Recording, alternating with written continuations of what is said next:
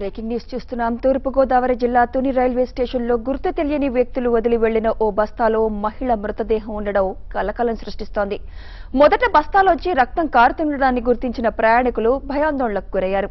ఇందులో మృతదేహం ఉంటుందని అనుమానించి రైల్వే పోలీసులకు సమాచారం అందించారు.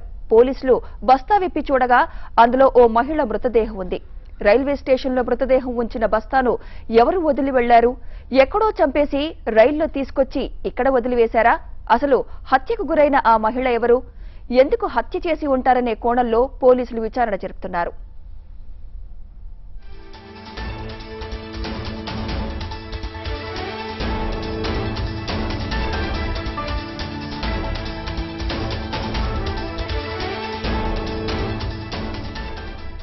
తుని రైల్వే స్టేషన్లో మహిళ మృతదేహాన్ని బస్తాలో కట్టి వదిలివేయడంపై మరిన్ని వివరాలు మా ప్రతినిధి తాతాజీ అందిస్తారు. తాతాజీ పోలీసుల విచారణకు సంబంధించి పూర్తి డీటెయిల్స్ తెలియజేయండి సుమిత్ర తుని రైల్వే స్టేషన్లో కల్పన వైపున బస్తాకు సంబంధించి బస్తాల్లో మహిళ మృతదేహం ఉండి ఉండొచ్చని ప్రయాణికుల ఆందోళన వ్యక్తం చేసిన నేపథ్యంలో పోలీసులు విచారించే పోలీసులు ఆ బస్తా వచ్చిన తర్వాత మహిళ మృతదేహం కనిపించి దీంతో ఒక్కసారిగా తుని రైల్వే స్టేషన్లో కలకలం రేపింది. ఎందుకంటే ఒక మహిళ మృతదేహాన్ని తీసుకొచ్చి రైల్వే స్టేషన్లో జనసమర్థం ఉన్న ప్రాంతంలో వదిలేసి వెళ్ళడం పైన పూర్తిగా అక్కడ ఆందోళన వ్యక్తమవుతున్న పరిస్థితి. ఇప్పటికే పోలీసులు రైల్వే పోలీసుల మృతదేహానికి సంబంధించి పూర్తి వివరాలను తెలుసుకునే ప్రయత్నం చేస్తున్నారు. అసలు రైల్వే స్టేషన్ లోంచి ఒక మృతదేహం ఉండడం సంబంధించి ఒక బస్తాలో తీసుకొచ్చి ఉండడం దాదాపుగా నలభై ఐదేళ్ళ మహిళగా ఆ మృతదేహ మహిళ మృతదేహంగా పోలీసులు ఇప్పటికే గుర్తించడం జరిగింది. ఆమె నైటీ ధరించి ఉన్నట్టుగా ఉంది. అంతేకాకుండా ఆమెకు సంబంధించి మెడలో కానీ ఎలాంటి ఆభరణాలు లేకపోవడం పైన పలు అనుమానాలు వ్యక్తం చేస్తున్నారు. ఎవరైనా ఆమెపై దాడి చేసి ఆమెను చంపి